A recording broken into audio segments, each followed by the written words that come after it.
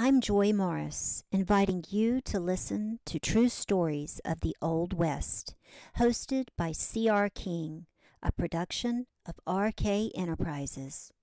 Hello, everybody. C.R. King here. Today we're going to talk about Commodore Perry Owens and the cattle versus sheep herders war.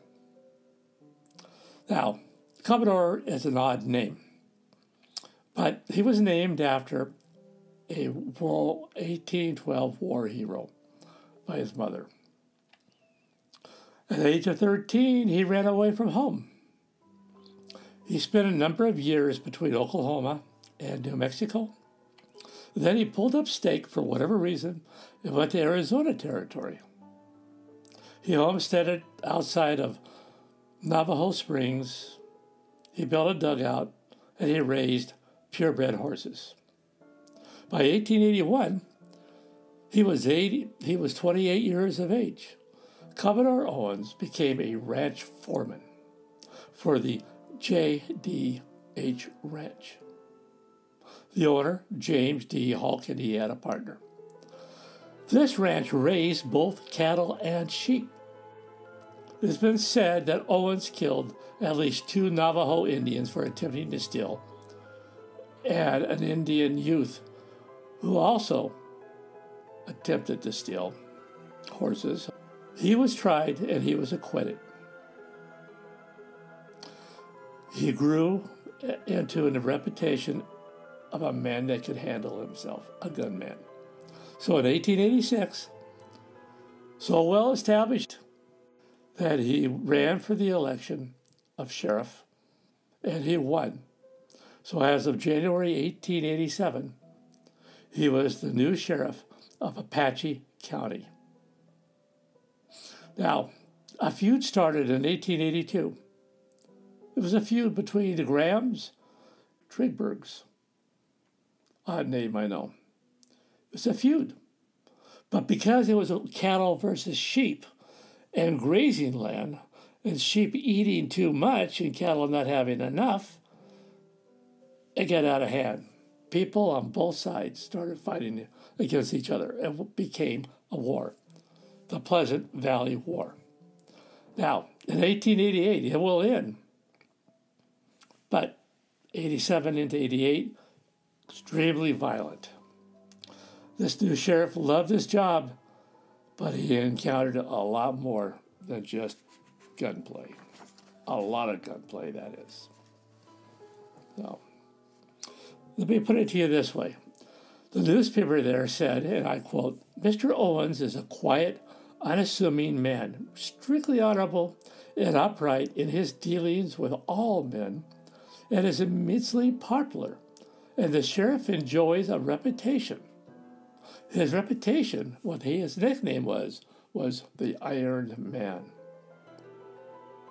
The most famous gunfight that Commodore Owens got into took part when he went after Andy Cooper. Andy Cooper was a leader of the cattle faction with the Grahams. He was in Holbrook, Arizona. It was September 4th, 1887.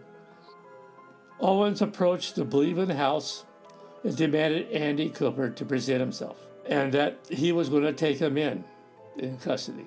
There were 12 people at that house that day including Andy. Owen stood alone outside the home and against four dangerous outlaws who came out shooting. In less than a minute, all four men were dead, and a fifth man was wounded. Owens was praised as he walked through town for what he did because the people thought the, the feud or the war would be over, but it wasn't. And he was terminated. In the fall of 80 of 92, Owens again sought the office of county sheriff. He lost, but he was appointed chief deputy. In 94, he ran again, he was defeated. In 1893, he was appointed to the position of Deputy United States Marshal by William Meade, the then current Territorial Marshal. In 95, Commodore was again appointed, this time to sheriff of Navajo County by the then Governor Louis Cameron Hughes. Navajo County was brand new. He hired his nephew, and they served for two years. Now, at the end of that second year, actually, before that second year, a feud would end in August of 92. Tom Graham was murdered in Tempe, Arizona. He was the last of the Grahams. It was not an instant death. He had a chance to name his killer, Edwin Trickberry, who shot him, as did witnesses also testified. Edwin was arrested, tried twice, hung jury, convicted, set aside for a technical problem. It was, and later, it lingered for a few years. In 95, it was dismissed.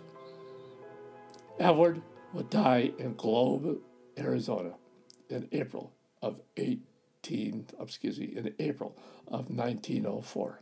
After his term was up as sheriff of Navajo County, he and his nephew never sought reelection.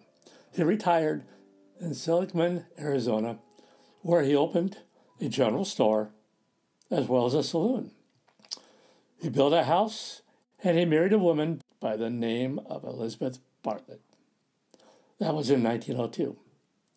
They moved to San Diego for a time after he sold his saloon and, and moved back just after 1910. In 1919, Commodore Perry Owens died at the age of 67 of Bright's disease. That was on May 28, 1919, and he was, again, 67 years of age. He left his wife an estate totaling over $10,000. And in those days, that was one heck of a lot of money. She moved back. Her full name was Elizabeth Jade Owens. Moved back to San Diego, and she lived a long life.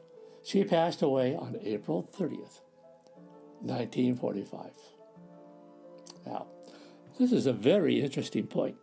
If you go back to 1871, the Commodore appointed two of his deputies, Jake Brighton and Albert Miller, to seek out and arrest Ike Clanton.